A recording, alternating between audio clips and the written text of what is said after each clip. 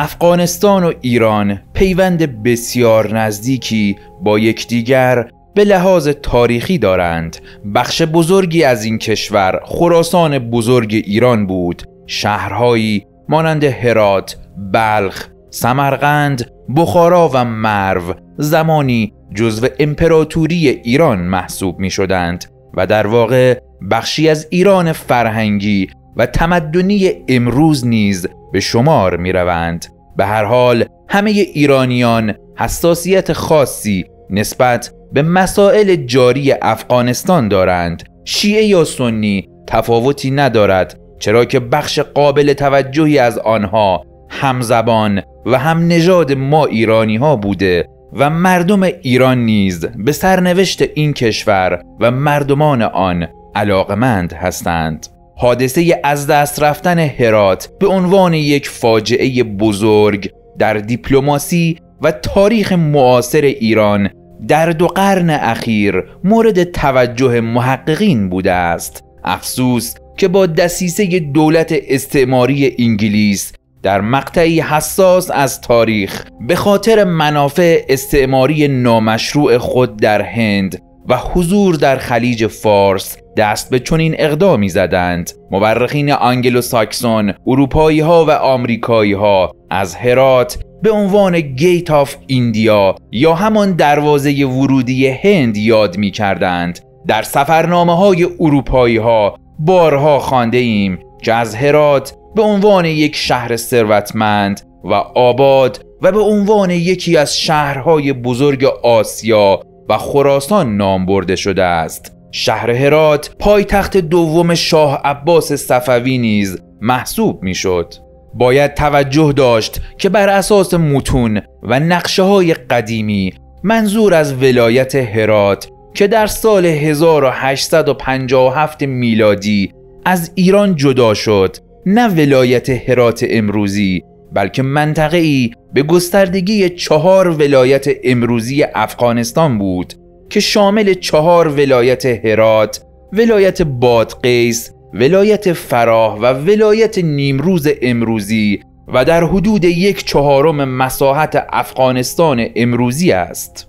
قبل از دیدن ادامه ویدیو لطفاً برای حمایت از ما و کمک به بیشتر شنیده شدن صدای ما ویدیو رو like و کانال ما رو subscribe کنید. منابع ما در این ویدیو چهار کتاب هستند. کتاب اول ایران در دوره سلطنت قاجار نوشته علی اصغر شمیم. کتاب دوم فاتح هرات نوشته ناصر نجمی. کتاب سوم ایران و افغانستان. از یگانگی تا تعیین مرزهای سیاسی نوشته محمد علی بهمنی قاجار و کتاب چهارم سیاستگران دوره قاجار نوشته خان ملک ساسانی. همچنین برای دانلود کتاب هایی که به عنوان منبع معرفی می شوند به کانال تلگرام قاصدک تیوی مراجعه کنید. در سده 16 میلادی هرات تحت کنترل ایران صفوی قرار گرفت.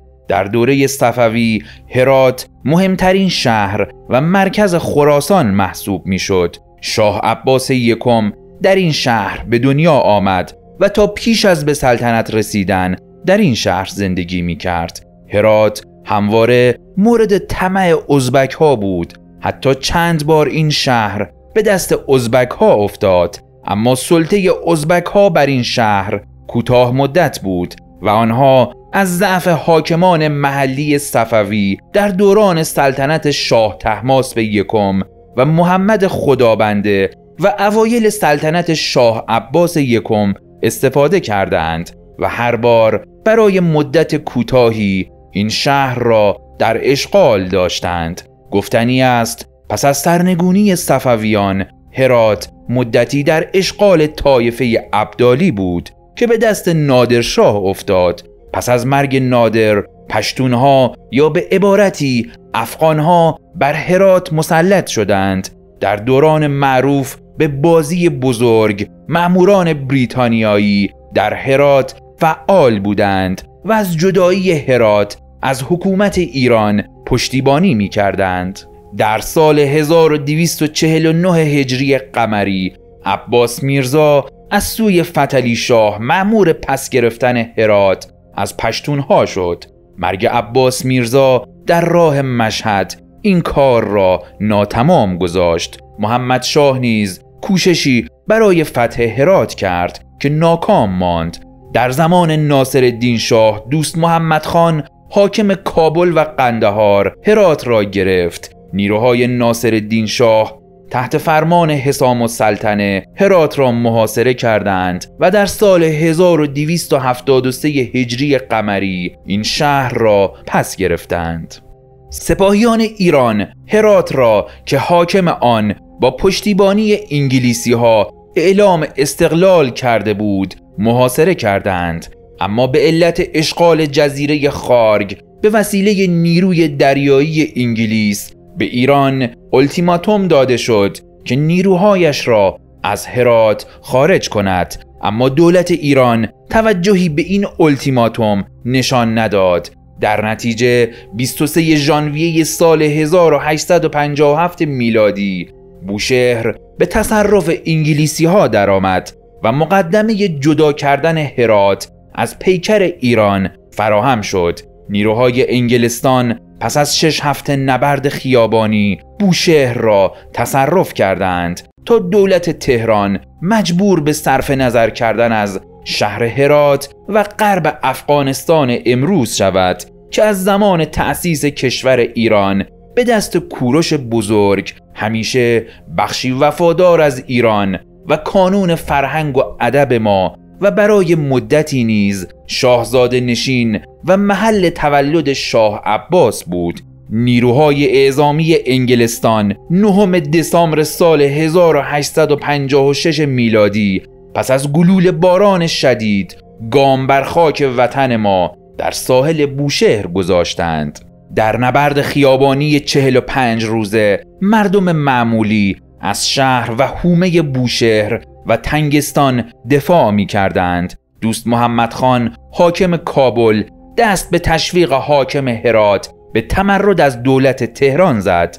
ناصر الدین شاه حسام السلطنه را با لشکر خراسان و چند یگان نظامی از تهران، گرگان و کرمان معمور گوشمالی حاکم هرات کرد که با اعتراض شدید لندن روبرو شد. چون تهران توجه نکرد انگلستان با به رسمیت شناختن فوری مرزهای افغانستان که خود در لندن ترسیم کرده بود روابطش را با تهران قطع و یکم نوامبر سال 1856 میلادی به ایران اعلام جنگ داد و بار دیگر به آبهای ما در خلیج فارس کشتی توپدار و تفنگدار روانه ساخت. انگلستان که ایستادگی 23 روزه مردم بوشهر و تنگستان را انتظار نداشت خرمشهر را هم زیر حمله گرفت و اهواز را مورد تهدید قرار داد. دولت تهران تسلیم اراده لندن شد و طبق توافق پاریس از هرات صرف نظر کرد. اگر کمی به عقب بازگردیم می‌بینیم که عباس میرزا ولی عهد فتلی شاه با مشاهده دسیسه های انگلستان در جریان تنظیم قرارداد ترکمنچای و از دست رفتن قفقاز و چشیدن مزده تلخ دیپلماسی اروپایی و بیصداقتی ناپل اون برای حفظ مابقی خاک وطن و برای حصول از اطمینان از وفاداری حاکمان نیمه مستقل به خارزم مرو و بخارا شتافت او پس از مطیع ساختن حکمران سرخس که بر منطقه نسا و اشقابات تسلط داشت در سال 1834 میلادی قصد عزیمت به سوی قندهار داشت که بیمار شد و درگذشت. پسرش محمد میرزا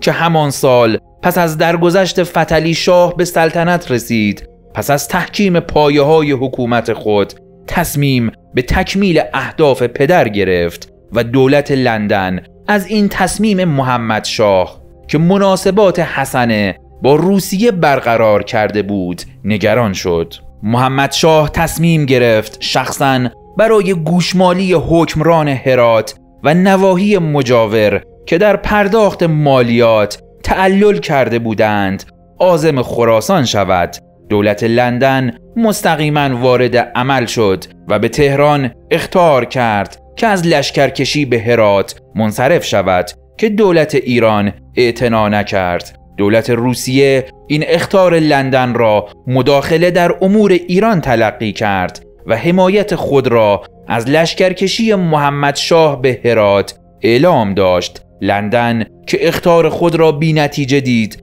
و از رسیدن نیروهای ایران به هرات آگاه شد. یک کشتی جنگی به آبهای ایران فرستاد.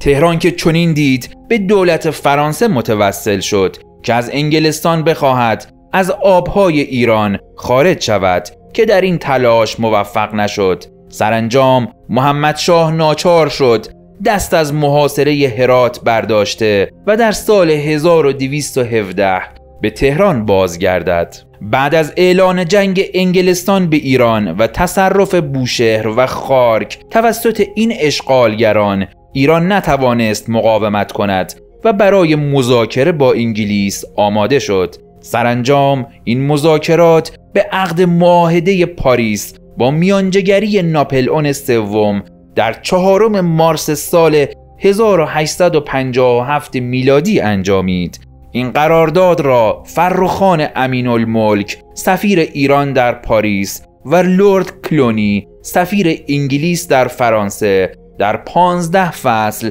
منعقد کردند.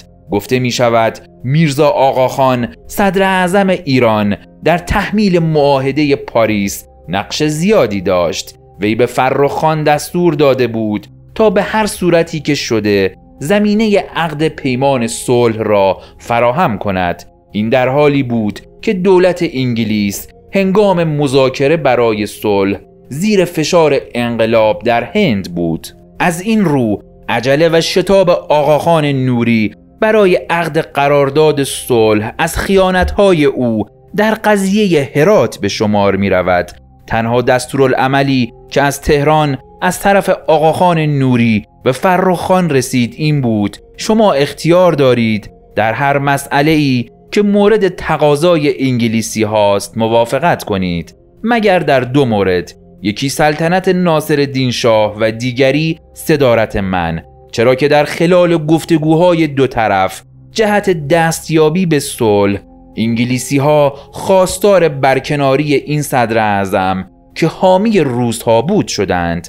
در حقیقت با مقایسه دوران عباس میرزا و میرزا آقاخان می‌توان گفت که زمامداری آقاخان معرف تفکر ارتجاعی است که دشمن هر نوع نوآوری و اندیشه ترقی خواهانه است. همچنین باید اذعان کرد که در این عهدنامه اگر رجال آگاه به مسائل سیاسی مانند عباس میرزا حضور داشتند می توانستند با سیاست مداری و هوش سیاسی خود مسئله افغانستان را به نفع ایران حل کنند. زیرا در این خصوص امکان جولان بیشتری برای دولت مردان ایران وجود داشت تا به هر طریق از حمله نظامی آن را حفظ کنند و گزینه نظامی می توانست آخرین راهکار برای پیشبرد اهداف حکومت قاجاریه در شرق ایران باشد.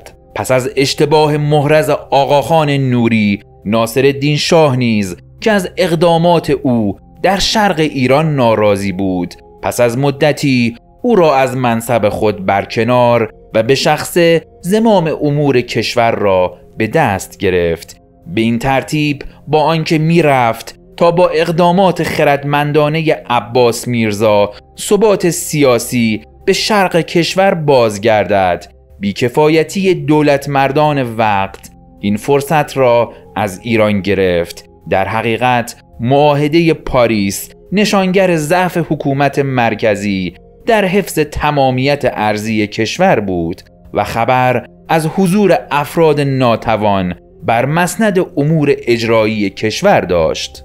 نتایج عهدنامه پاریس به موجب این معاهده دولت ایران تعهد داد که هرات و تمام خاک افغانستان را تخلیه کند و از هر ادعایی نسبت به حکومت خود در هرات و تمام افغانستان دست بردارد. همچنین به موجب این عهدنامه که صلح میان دو دولت برقرار شد. انگلیسی ها متحد شدند. قوای خود را در مدت کوتاهی از خاک ایران خارج کنند. در مقابل در بند ششم معاهده قید شد که به موجب آن ایران از تمام ادعاهای سلطنتی خود بر هرات و ممالک افغان دست بردارد.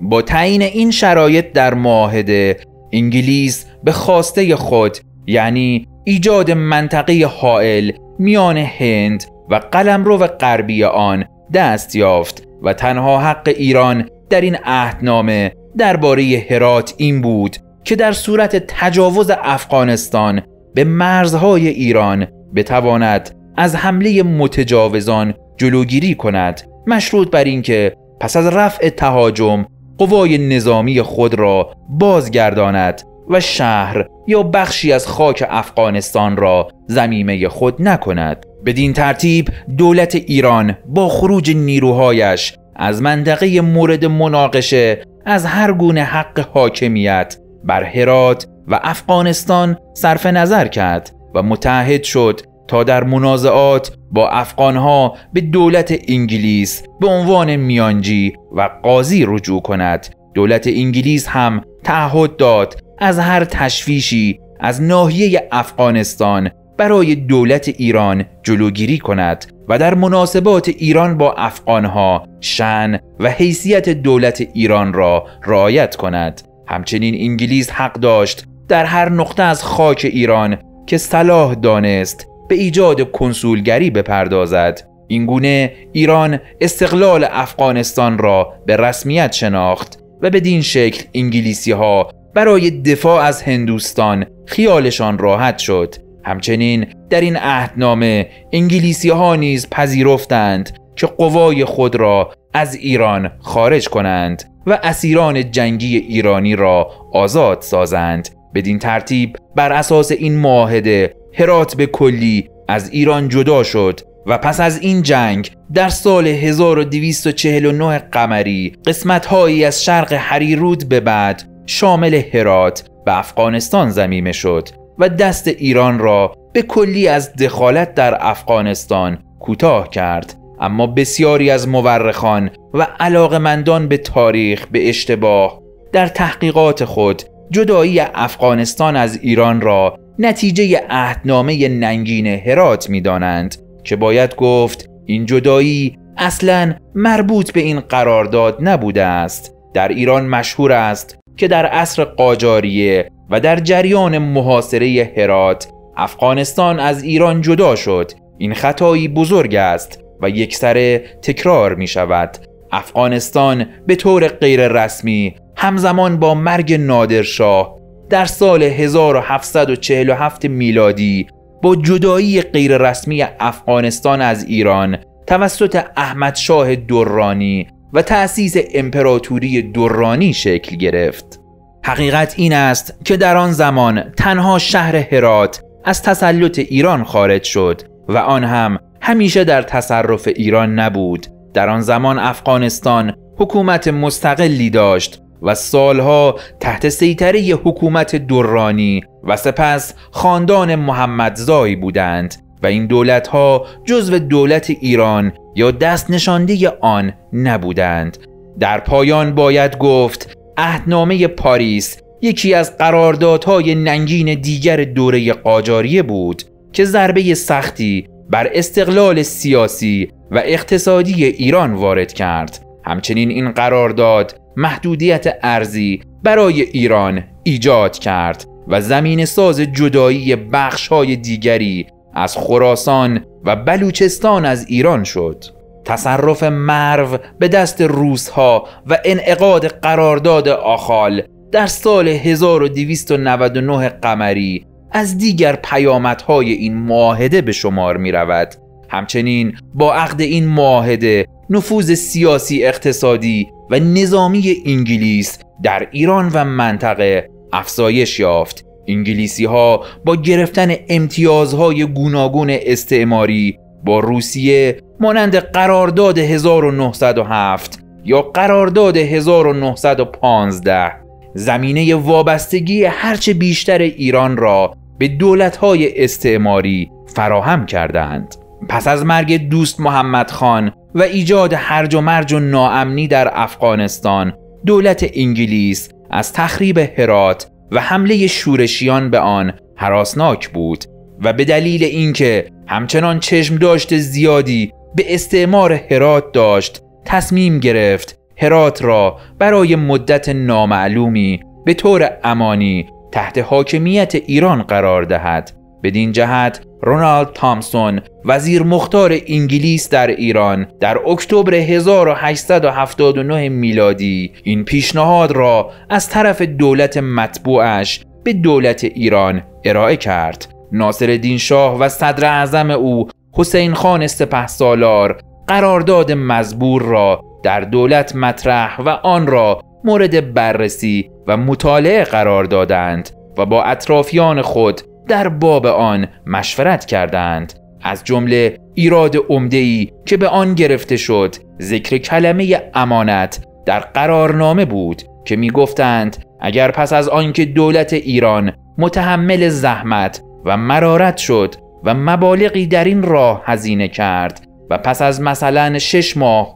دولت انگلیس تصمیم گرفت هرات را از قلمرو ایران جدا نماید چه خواهد شد؟ مذاکرات با دولت انگلیس در باب حذف این شرط از قرارنامه هم نتیجه نداد. به این جهت با آنکه ناصر شاه در این باره به استخاره هم متوسل شد و استخاره هم بسیار بسیار خوب آمد مدتی سرگردان و حیران بود و نمی توانستند تصمیم بگیرند و بالاخره بهتران دیدند که آن را قبول نکنند. و به مقامات انگلیس پاسخ رد داده شد.